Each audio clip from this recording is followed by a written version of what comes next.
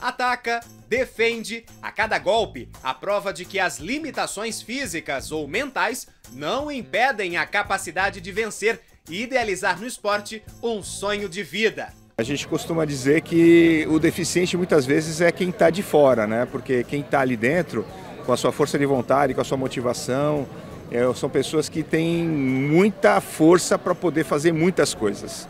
Né? Então, o que, que, é o nosso papel? Qual que é? O nosso papel é apenas facilitar o caminho, abrir as portas para que essas pessoas possam exercer aí a cidadania, possam exercer aí a oportunidade de praticar um esporte. O protagonismo é dessa galera que não desiste de ocupar o espaço que merece. Gente que faz o que quer, da forma que pode. As pessoas precisam conhecer a, a verdadeira capacidade das pessoas com deficiência para não ficar segmentando. Isso é importante para quebrar paradigmas e dar oportunidade para as pessoas com deficiência estarem onde elas quiserem estar.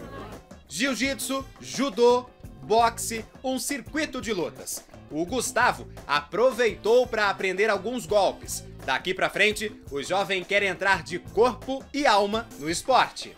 O esporte nos ajuda bastante e além de nos ajudar fisicamente, ajuda o psicológico que é o essencial na nossa vida. A gente sabe que o esporte transforma a vida das pessoas. O judô, por exemplo, ajuda a desenvolver habilidades de defesa pessoal, além de fortalecer a mente, o corpo físico e o espírito. Mas uma lição fundamental é que antes de aprender a bater, a gente aprende a cair. Quer mais lição de vida que essa? Vamos ver.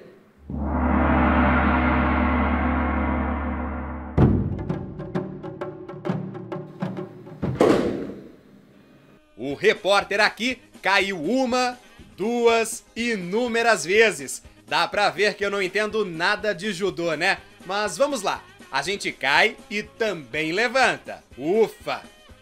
Aqui na quadra, a Alice bateu uma bolinha. Chute pra cá, chute pra lá. Nosso motorista Virgílio não conseguiu defender e a Alice marcou o gol.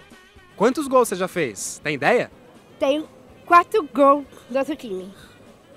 Então você ama o futebol? É um futebol mesmo.